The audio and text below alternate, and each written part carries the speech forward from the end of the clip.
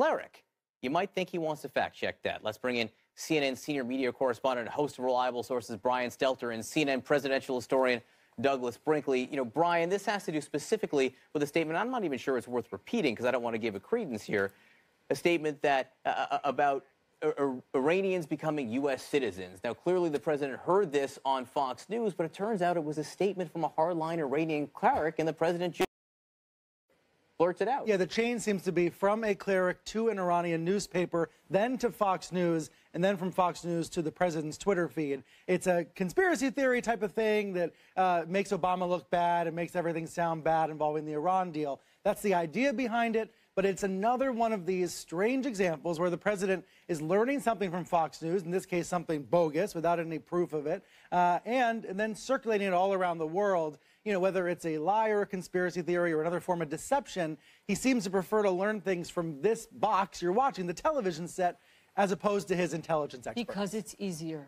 It's easier. Easier. Mm-hmm. easier. In the morning, you can turn on the TV, and whatever they're feeding you, you can then parrot on your Twitter feed, and that's what we're seeing. I mean, Doug, this is the anatomy of a conspiracy theory. This is how a conspiracy theory is born. So this hardline cleric says that as part of the Iranian deal, the Iranian nuclear deal, 2,500 Iranians were made U.S. citizens.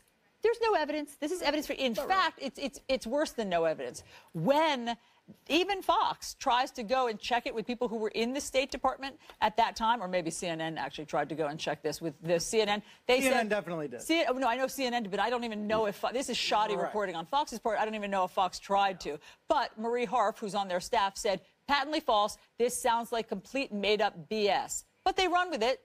They put it in the headline. Then Fox and Friends parrots it, and then the president absorbs it and tweets it. This is the anatomy of a conspiracy theory, Doug.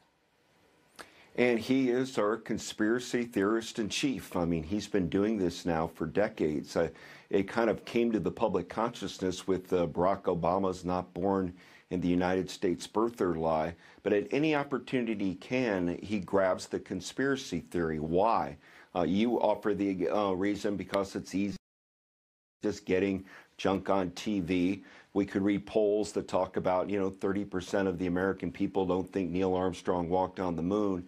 But it's really gets, I think, back to Donald Trump's thinking that you just shop for the story you want. Mm. And the internet uh, is a, a, world wide web, uh, gives you an opportunity to grab the story that fits what you want to believe for the minute. And this Iranian story, Donald Trump will buy any amount of bogus news to make the deal that John Kerry and Barack Obama made look like a lightweight negotiation deal. Why? Because he said it over and over again on the campaign trail. And so if suddenly he stumbles upon something that backs his gut, he will go with it, whether it's verified uh, or you know is just completely um, kooky or not. But but the, the obvious reality check here is this is a man who has access to a daily intelligence briefing.